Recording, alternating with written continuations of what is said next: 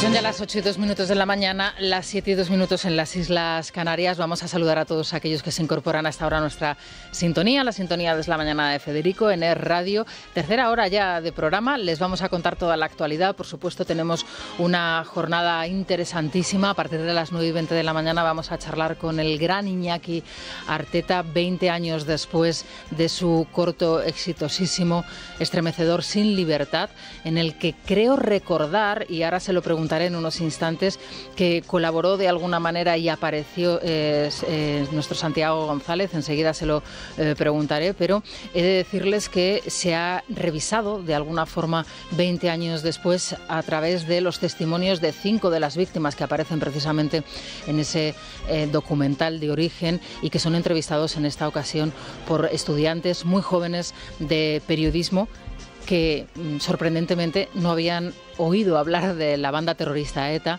o no conocían mm, desde luego eh, lo que había eh, realizado la banda terrorista ETA, las ejecuciones que había realizado la banda terrorista ETA a lo largo de todos estos años y sorprende por un eh, doble motivo.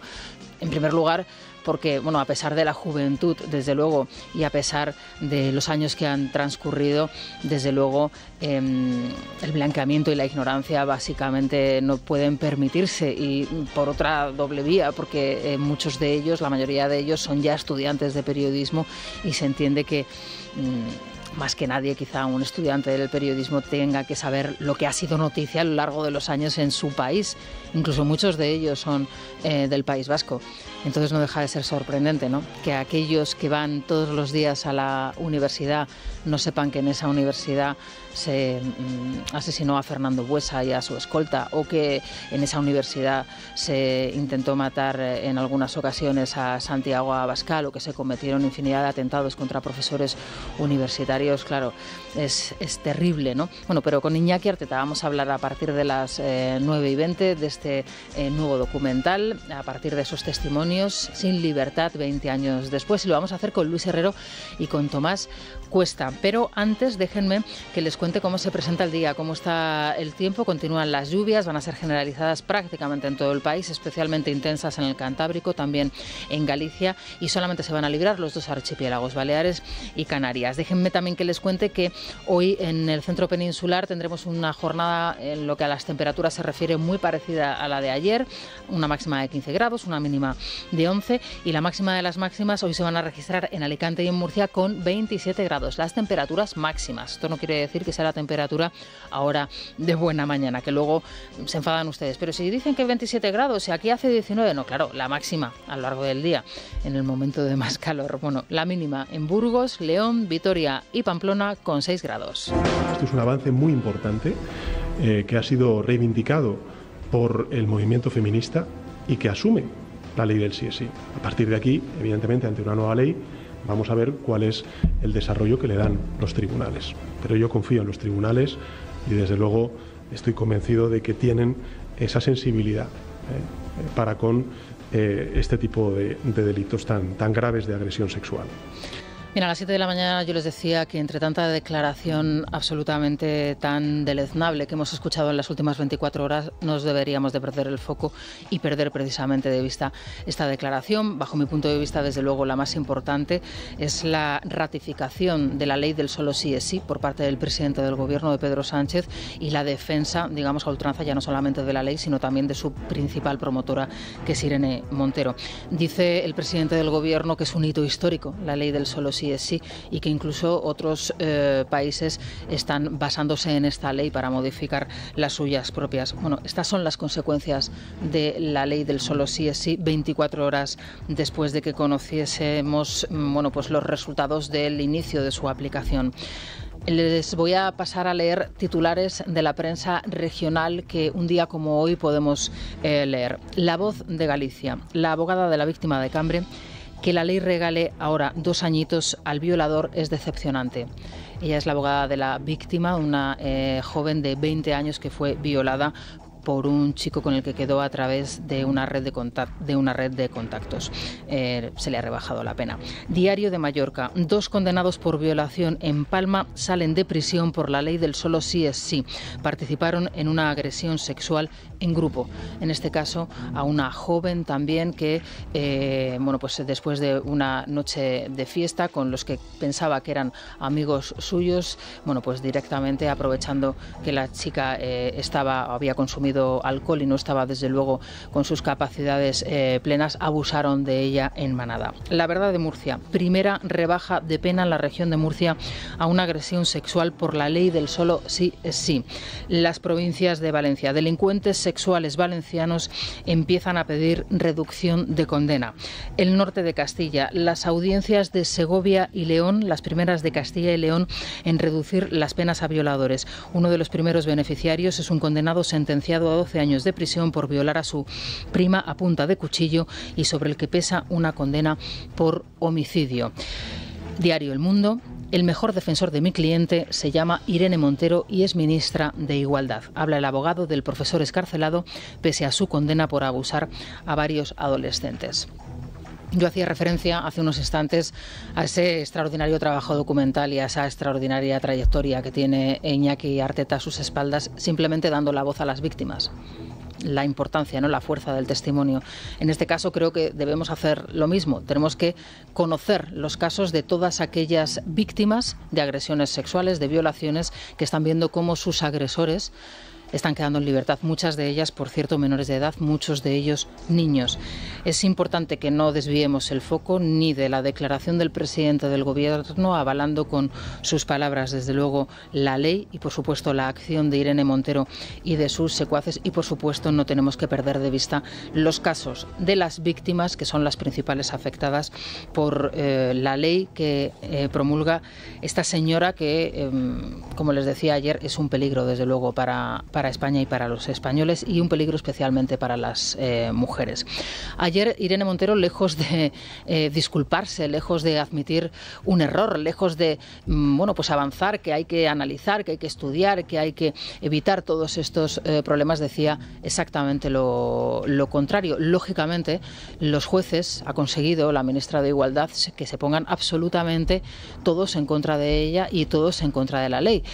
Bueno, lo que no ha conseguido Bolaños, lo que no ha conseguido Sánchez, lo que no consiguió ni Iván Redondo, lo ha conseguido desde luego Irene Montero. Vamos a escucharla a ella junto a la señora del Barco, que es la representante de la Asociación Profesional de la Magistratura que los jueces no están aplicando la ley, la ley tiene que cumplirse, que vamos a reforzar la formación a todos los operadores judiciales para que esos estereotipos, ese machismo, no lleve a comprometer la imparcialidad eh, de los sistemas de justicia. En algo sí que coincido con la ministra y es que hace falta formación obligatoria por parte de quienes hacen las leyes. No estaría mal que supieran cuando promulgan sus leyes, cuando hacen sus proyectos de ley, eh, cuáles son las consecuencias tecnológicas de lo que aprueban.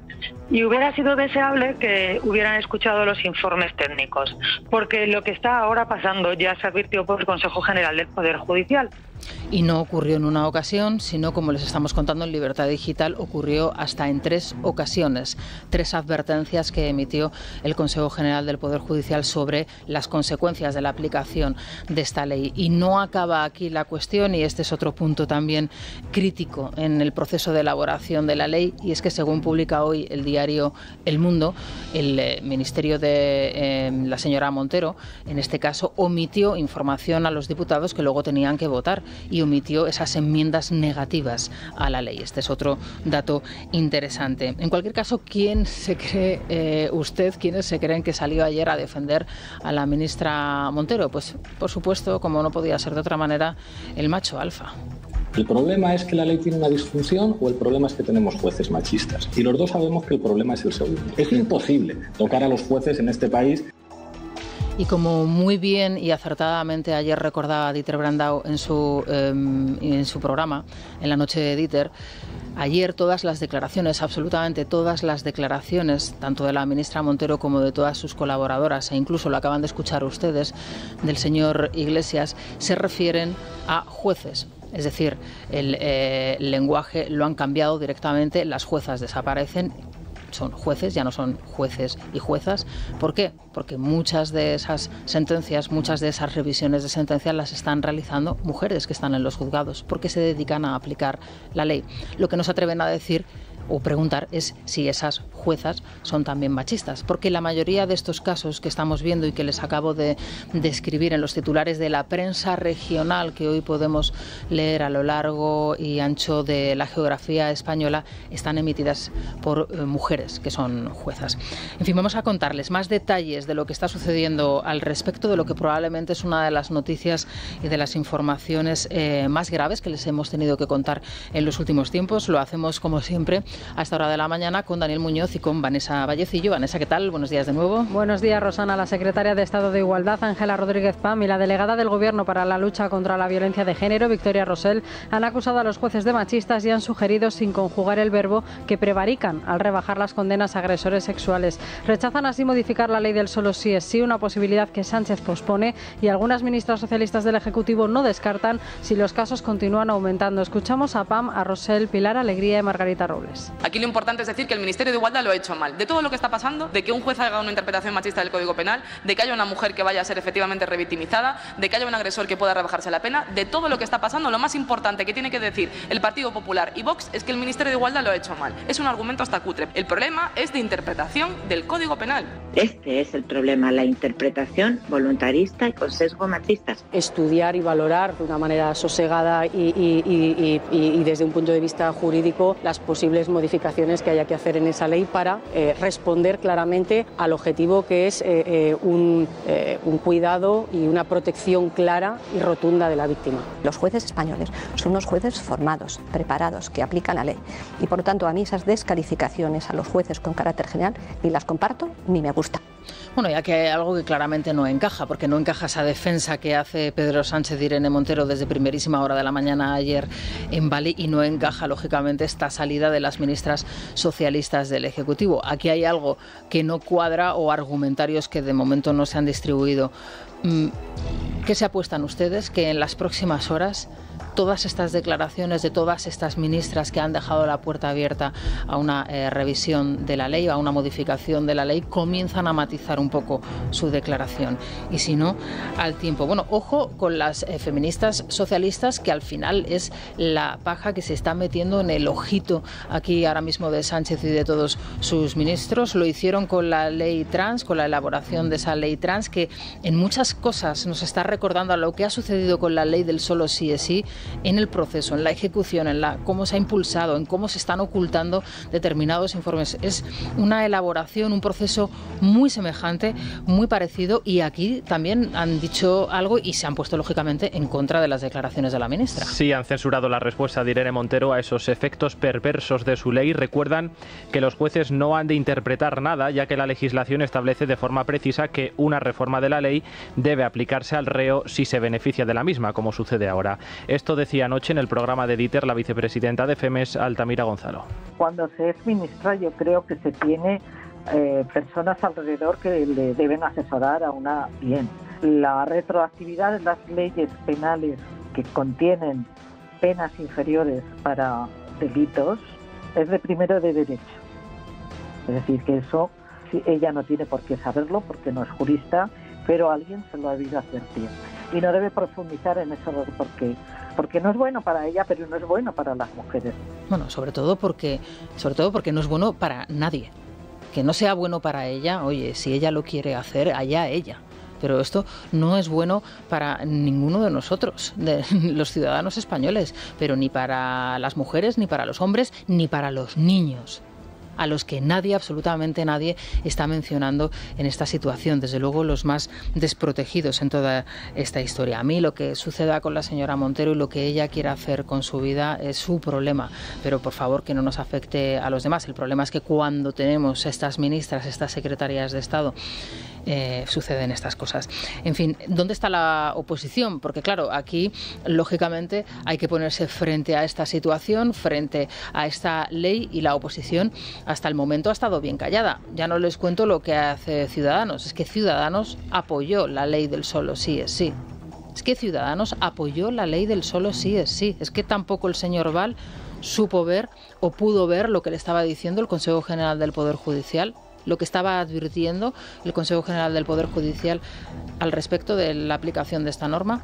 En fin, esto es lo que han dicho y las reacciones que han tenido después de conocer lo que está sucediendo en la aplicación de estas rebajas de pena. El Partido Popular por ahora se conforma con registrar una moción en el Senado que se votará la próxima semana para exigir que se reforme la ley. A escasos días de que concluya el plazo para recurrir ante el Constitucional, ni PP ni Vox han presentado un recurso de inconstitucionalidad.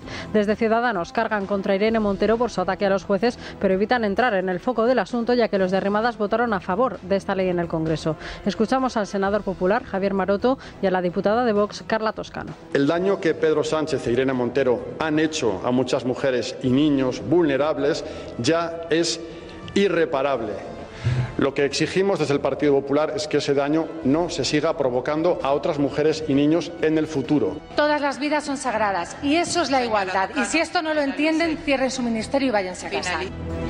Bueno, vamos a dejarlo aquí porque tenemos mucho que analizar y que comentar. Son las 8 y 18 minutos de la mañana, las 7 y 18 en Canarias. Hacemos una pausa y continuamos. Bueno, Dani, vamos a recordar esa cita que tenemos con Telefónica. Sí, porque cuando hablamos de la nube, del cloud, mucha gente dirá, bueno, pues ¿qué, qué, qué es eso? Bueno, pues eso es el futuro para muchas empresas, sobre todo las que estén interesadas en su transformación digital para favorecer su productividad y eficacia. De todo esto y mucho más nos va a hablar Ricardo Rodríguez, eh, Ricardo de la Cruz, perdón, director de innovación en Acens, parte de Telefónica Tech, que va a estar con nosotros aquí en este estudio el próximo martes 22 de noviembre a las once y media de la mañana. Así que todas aquellas personas, eh, dirigentes de empresas que estén interesados en conocer qué es esto de la nube, del cloud, pues... Oye, yo no tengo empresa, pero también le voy a escuchar, ¿eh? me parece un tema muy, pero que muy interesante y desde luego hay que ponerse las pilas y estar al día. Silvia, vamos a escuchar a los oyentes y hoy les vamos a pedir preguntas ¿no? para Iñaki Arteta. Preguntas y comentarios. Viene a presentarnos su documental Sin Libertad, 20 años eh, después. Nos va a contar el tremendo desconocimiento entre los jóvenes de la historia de la ETA, jóvenes que además son estudiantes de periodismo, que todavía lo hace más grave. Pero también nos puede hablar sobre la política de acercamiento de presos del gobierno eh, con Marlasca al frente y también de los beneficios penitenciarios que está otorgando el gobierno de Urcuyu a todos esos asesinos. Así que esperamos, por supuesto, sus comentarios, sus preguntas en el 648 91 92 60. Bueno, pues nada más que añadir, que vamos a hacer una pausa y enseguida regresamos.